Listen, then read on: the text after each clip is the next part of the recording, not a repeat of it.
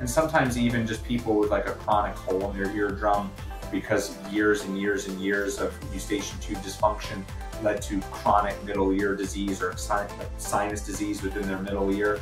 And maybe they've had their eardrum reconstructed or they've had the, the bone and the sinus operated on as well. Um, those patients are actually good eustachian tube balloon candidates as well to try to prevent recurrence or, or progression further of that disease process.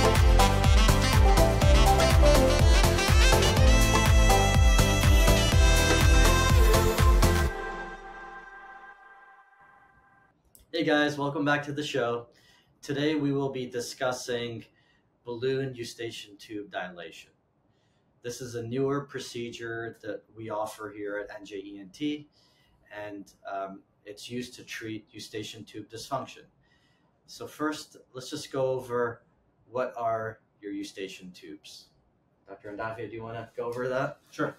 Um, eustachian tube is it is a tube and it connects your nose to the middle ear. And what it does is it allows the space in the middle ear to have the same atmospheric pressure on the inside and outside of the eardrum so that your eardrum can equally or can easily move back and forth. Correct. Perfect. And what is eustachian tube dysfunction? Sure. So eustachian tube dysfunction or ETD is a problem with um, allowing that ventilation cycle to occur between the back of the nose and the middle ear space.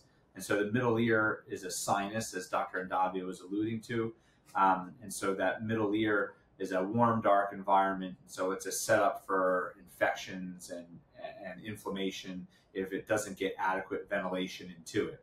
And so if that eustachian tube isn't letting adequate ventilation in there, you can start to get symptoms of um, negative pressure within the ear or kind of pain, pressure, difficulty equalizing um, that that pressure gradient across the eardrum to the outside world. Um, some people will even develop fluid within their ear um, from eustachian tube dysfunction or um, uh, inflammation around the eustachian tube. Uh, the cause of eustachian tube dysfunction can be pretty variable. Sometimes um, in little kids, which are the most common, it's just due to the um, immaturity of the eustachian tube. So the, the eustachian tube is a little more narrow, a little more flat and so it's more susceptible to um, kind of sinus issues or nasal issues with nasal congestion, viruses, allergies, and it's more susceptible to reflux um, coming up into the back of the nasopharynx as well. So gastroesophageal contents can come up and spill up into the nasopharynx and trigger inflammation and swelling around that eustachian tube opening. And so anytime you get inadequate opening in the back of the nose, that can trigger then inflammation kind of upstream going into the middle ear and decrease the ventilation there. Yep. And Dr. Undavia, do you want to go over any common treatment options for eustachian um, tube dysfunction? Yeah, I mean, we always start with the least invasive. So we always start with just either control of your environment or medications. Um, so if you know you're allergic to something that's giving you nasal congestion, like Dr. Smith was talking about, we can try and avoid that. Um, but if that's not really an option. Uh, we can do allergy medication like Claritin, Zyrtec, Allegra, or Xyzal, and the generic forms of those. Um, you can do nasal sprays like Flonase uh, or fluticasone. There's other brands like Nasacort, Rhinocort, um, and then there's other nasal sprays like azelastine. Azelastine is um, a topical antihistamine typically taste bad, but those all can kind of help to take some of the inflammation away from the nose and get a little bit more space in the nose and hopefully translate to more space in the eustachian tube. Sometimes uh, we can do antibiotics if we see fluid in the ear. We can do some oral steroids if we see a lot of inflammation and fluid in the ear. Even things like Sudafed can help, or Afrin. If it's a if it's Afrin, we can do for a couple days. It can decongest the nose pretty quickly. And, so oral and, and, nasal decongestants as well. Um, those are the main things. And what if that doesn't work? Then what, what do you um, do? Well, that's when I would talk to you both. well, traditionally, you know, most people have gotten ear, ear tubes. tubes or yeah, pressure equalization tubes are kind of the, the real term for PET or pressure equalization tubes. Um, you yeah. want to talk more about? Yeah, so ear tubes, uh, it's an artificial eustachian tube. So you're putting, you're making a tiny little incision in your eardrum, and you're putting a little plastic um, tube there typically, and that tube equalizes pressure behind your eardrum and it acts as an artificial eustachian tube so that you no longer have to rely on your natural eustachian tube, tube to equalize pressure. What are some downsides to um, to tubes? tubes yeah. yeah. So one one downside is that you're putting something artificial in there, and so whether it's plastic or metal substance, uh, it can be a nidus for bacterial growth, and so infections from those. Um, when you make a hole in the eardrum and we put that tube in there as a spacer to keep that small hole open, sometimes that tube can fall out and the hole may not close. So sometimes we have issues where the tubes fall out too soon and somebody may need another tube, or the tube may fall out and the hole may not close, which isn't common, but it does happen, um, requiring another procedure sometimes if, if, the hole gets larger to close it. Um, so that's usually the most common thing, but even some small changes, you know, kids don't typically notice the hearing changes that much from ear tubes, but you know, especially in adults, if you put one in one side versus the other side, you'll typically notice a little bit of a difference in the hearing when those equalization tubes are in. They do have some extra weight, which you know puts you know extra weight against the movement of the drum, but it also allows some of the air pressure in, and so your your your job of the eardrum is to take and conduct sound into the middle and then in through the middle into the inner ear so that you can hear. And if you put a hole in that eardrum, sound is actually just air pressure movement. And so as those sound waves, so the air pressure comes and hits the drum, some of it will actually go through the ear tube. So sometimes even just where on the eardrum that tube sits sometimes can change the, the hearing kind of dynamics. Um, and so sound dynamics can change with the ear tubes as well. I think um, sometimes you get like that noise cancellation where the, the sound wave goes through the tube and it's right across from the round window yeah. and it cancels out the sound so you actually feel worse sometimes and true and some people feel like a hollowness from ear tubes as well that that a lot of people get used to it and don't and aren't bothered by it because they don't have the pressure and the congestion pain anymore. Um, but sometimes that hollowness feeling can be problematic for patients as well. Um, most of us if we have issues equalizing our ears we start to do things like valsalva or like pinch your nose and blow air. Um, we can kind of strain or try to like pull air up from the nasopharynx into the middle ear as well. And people get used to being able to pop their ears like as if they were on an airplane. But if you no longer have that ability to feel that air pop and the drum move, some people kind of miss that feeling, and so they don't really, you know, like that too because they don't have that feeling that their ears popping and they're relieving that pressure. So there are some downsides to tubes, but there are significant upsides to them as well. Yeah, and the biggest complaint is really you can't get water in your ears. Yeah. Right. Swimming. So swimming is a problem. Um, you're at a high risk of getting an infection if you're exposed to lake water or beach water. Mm-hmm. So you have to wear earplugs. So dirty, contaminated water yeah. is an issue. Yeah. So that's probably the biggest complaint. Now, up until very recently, all the options that you guys were going over were really the only options for treating eustachian tube issues, and the only procedural option was really ear tubes. Um, now, recently, there, the FDA has approved a new procedure called balloon eustachian tube dilation, which is trying to treat the underlying eustachian tube to make that work more, your natural eustachian tube, to try to make that work more effectively to make you feel better.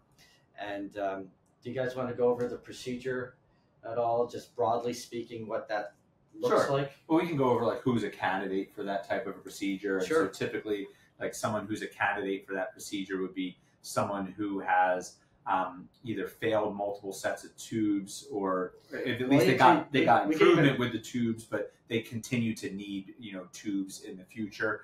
So if the, if it's an acute problem, you probably don't need eustachian tube dilation. But if it's a chronic problem, is typically the gist. So you've had multiple sets of tubes maybe in the past. You show signs of negative pressure in the ear, whether it's a retracted drum or you get a what's called a tympanogram, which shows that that eardrum pressure, kind of the peak compliance of that eardrum is at a negative pressure as opposed to a more neutral or, or, or positive type pressure.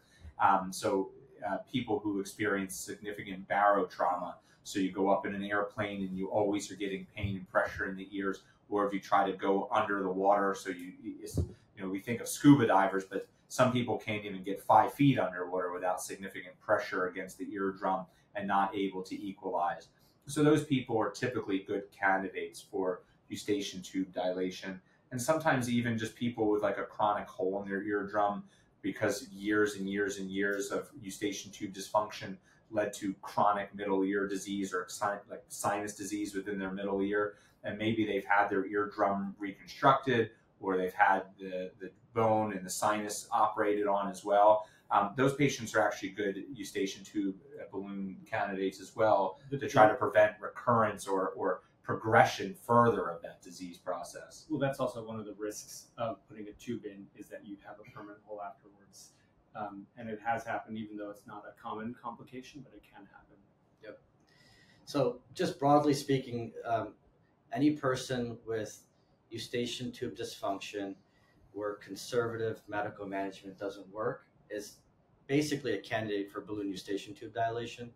Um, sometimes the insurance criteria is a little bit more specific or complicated than that, but um, anyone that just doesn't want ear tubes is basically a candidate for eustachian tube dilation. Yeah.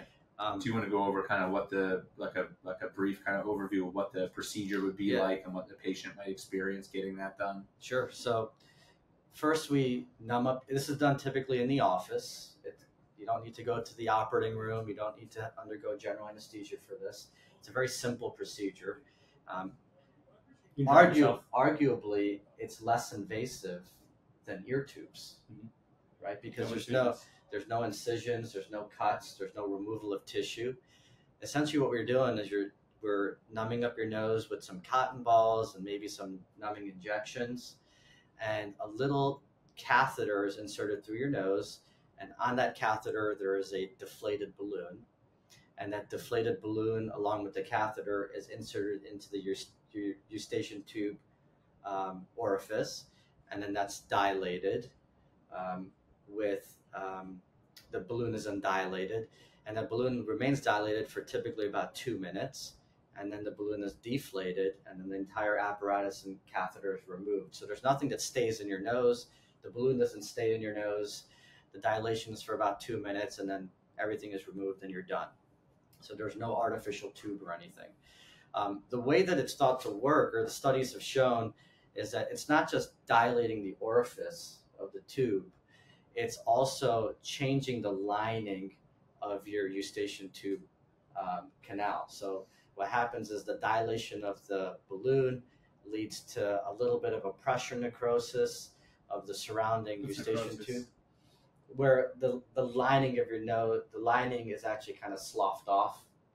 And then that new lining that's formed hopefully functions better and is able to equalize pressure in your ears. And, and you know, the long, there's some decent long-term data um, of over three, four years now that shows that this lasts for a long time potentially. Yep. And the nice thing about it, worst case scenario, if it doesn't work, you still have ear tubes as a backup. Right. Now we used to when we put used to start these and do these, most of us would put ear tubes in at the same time of doing the dilation, or only do them in patients who, you know, had um, contemporarily ear tubes placed um, to try to prevent any you know pressure after the dilation because you may get some swelling that makes the pressure equalization a little bit more difficult for the first couple of weeks until things improve. Um, but now more and more, I think you know at least I'm getting away. I think you are as well, yeah. getting away from doing tubes at that same time. I find that most patients are used to the those types of pressure equalization problems with their ear, and the symptoms after that type of dilation aren't that bad. Um, and most people do really, really well after these, so and don't need that that tube necessarily. And it's always yeah. there as a fail safe just in case. The whole purpose is to not have the tube. Right? Yeah. yeah. How about complications? I mean, is there any risks or complications associated with the procedure? Have you guys seen anything? Any issues? Sure. I mean, no, none, none personal, but I, I will say we all order imaging prior to doing these types of procedures, so we all get a CAT scan of kind of the bony anatomy around the eustachian tube, just making sure there's no major vessels coming close to the uh, to the eustachian tube that may be put in harm's way um, the it's soft tissue and you're going into that area with a with a probe and so you know theoretically you can dilate and, and cause um, um, a small tear in the lining which then can lead to air getting trapped underneath of the soft tissue around there. So there are reports of people getting what's called subcutaneous emphysema or air trapped around the sign, uh, kind of the soft tissues in the in the face and skin around the sinuses. Those are pretty rare and uncommon to happen. And, and Um, self-resolving. Yeah, and self-resolvent. Yeah, I mean, I think overall, the risks from ear Oh, tubes are far greater than the Yeah, risks from the balloon eusta- eustachian tube Yeah, I mean, dilation. uh, the main risk is like from some of the injections and nosebleed Yeah. temporarily for like a day. Yeah.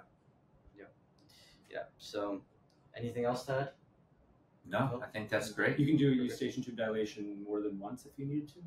You can. Um, I don't think there's any contraindication to doing that. Now, I've never had a patient where I've done that for, but I'm. I'm sure as time goes As- on, as we may have on. more patients, you know, that have had these done maybe in the early infancy and may need it redone again. And actually, the interesting thing, recent development with balloon eustachian tube dilation is that up until very recently it's for ages 18 and up. And recently, the FDA has approved it for ages up, up to 13 and up, I believe. And I- could foresee in the future where the FDA starts approving this procedure for even the pediatric population, younger kids. And eventually, you could envision a time where right now the most common procedure done in the United States for kids is ear tubes. So we can envision a time where potentially the most common procedure done in the United States for kids is balloon eustachian tube dilation. I mean, this is a nice procedure. Insurance has made it difficult to get it authorized, but we can still do this procedure um, on our patients. We, uh, the best thing about this is it allows our patients, especially the adults, to maintain the activities that they like to that, they like to pursue without any restrictions. All right, good. Thank you for joining us. We'll see you guys next time.